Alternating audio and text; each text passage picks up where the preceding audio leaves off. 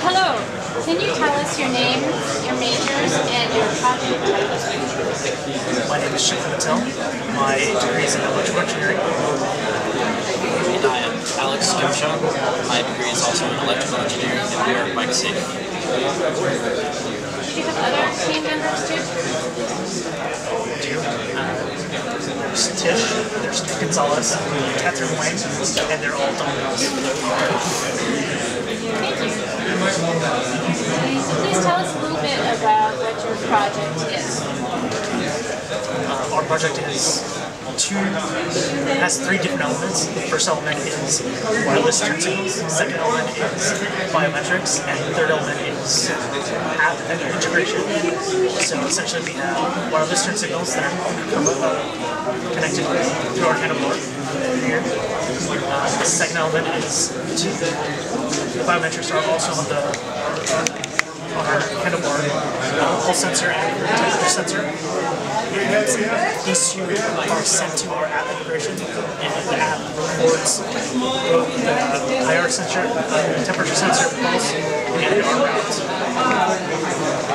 Okay. Can you please tell us about each team member's contributions to the project?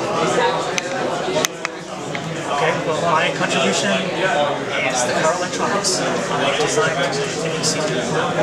I designed the PCB and uh, integrated. So we need, in order to power 10 of these LEDs in series, we need voltage limitations, or voltage regulations, and current limitations, so that we can prolong the longevity of our. So with this design, um, I used an LT3591 IC um, to help voltage regulate it help eliminate that drop. Uh, I'm sorry, eliminate that or minimize the. And I also worked the research on the LEDs to help find out exactly which LEDs will best with the preference And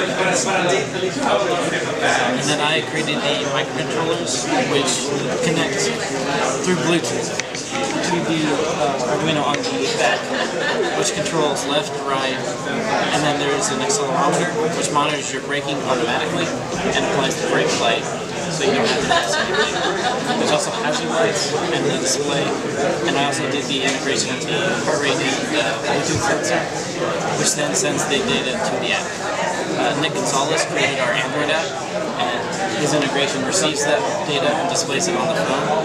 You can also track your route and plan your route, and even change uh, to have a certain detour during your route. Tish, and she put our LEDs in series that's connected to the boosting configuration system.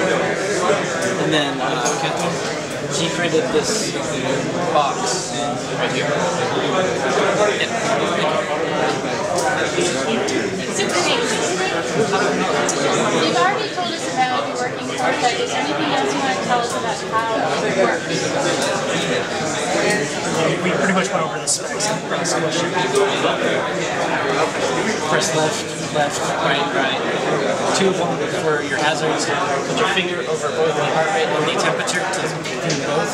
It'll display on your display and on your phone. Braking's automatic. Is there something like this out in the market? There are various products that we created very similar to this. Um, the one differentiating, differentiating point is that we're integrating the wireless turn signals and the biometrics. Um, there are products that do just the wireless turn signals, and there's many of those out in the market. There's no product that does wireless turn signals and the biometrics that we use.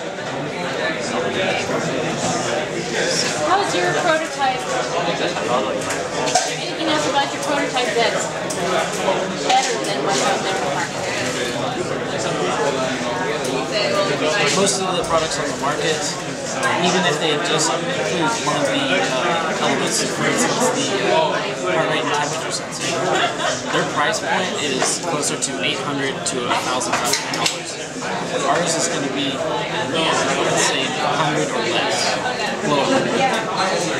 that's a significant increase.